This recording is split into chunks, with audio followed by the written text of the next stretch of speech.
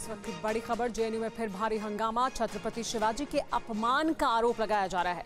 Left के छात्रों पर यह अपमान करने का आरोप लगा है, जिसके बाद हंगामा हुआ है। एबीवीपी ने लेफ़्ट पर लगाए हैं गंभीर आरोप, छत्रपति शिवाजी के अपमान के। जिसके बाद लेफ़्ट के छात्रों पर ये आरोप लगाने के बाद एबीवीपी ने ये आरोप लगाया और फिर खूब हंगामा हुआ जमकर जेएनयू में।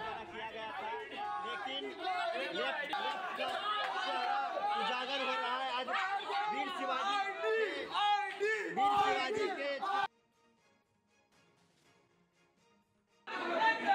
यहाँ पर अभी अभी लेफ़्ट के गुंडों और हंड्रेड फ्लावर जेएनयू में देखिए किस तरह से भारी हंगामा हुआ है। एबीवीपी के छात्रों ने आरोप लगाया था लेफ़्ट के छात्रों पर कि उन्होंने छत्रपति शिवाजी का अपमान किया है।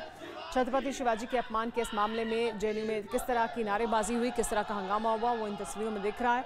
लेफ़्ट के छात्रों पर यह आरोप लगाया था एबीवीपी के छात्रों ने। एबीवीपी ने लेफ़्ट पर गंभीर आरोप लगाया कि उन्होंने छत्रपति शिवाजी का अपमान किया है, जिसके बाद जेएनयू के भीतर इस तरह का जमकर हंगामा हुआ।